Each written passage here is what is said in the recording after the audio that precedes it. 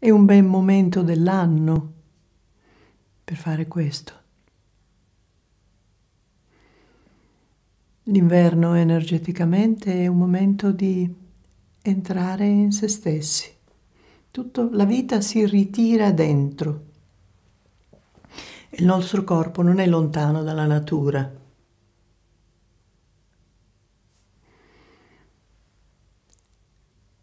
Ritiriamoci dentro in questo periodo dell'anno.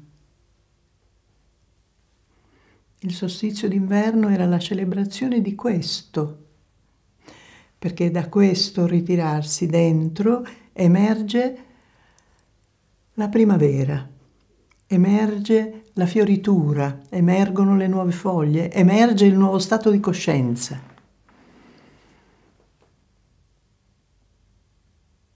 Allora, festeggiamo il solstizio d'inverno con questo passaggio interiore. Accogliamo tutto, accogliamo l'oscurità, diventiamo parte di tutto, senza timore.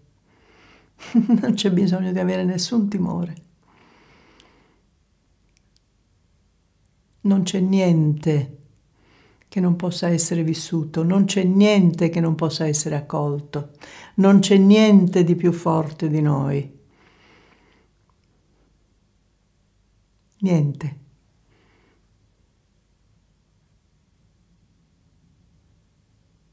Niente perché noi siamo adagiati nella vita e la vita è un potere meraviglioso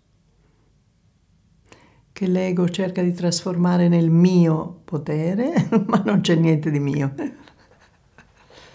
Ed è così profondamente pieno di gioia il fatto che non sia un mio potere,